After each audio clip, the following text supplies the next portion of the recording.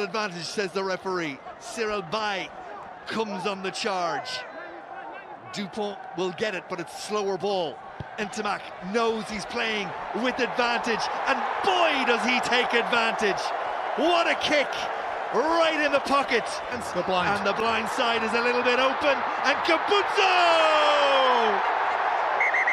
But I tell you what, when they had to be clinical and when they had to do something and make that decision to go into the corner, you have to score.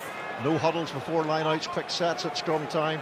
Shot clocks for penalties or conversions. And off! This time, go Scotland! Footwork from Duhan van der Merwe! This is astonishing! That is a mic drop moment from Duhan van der!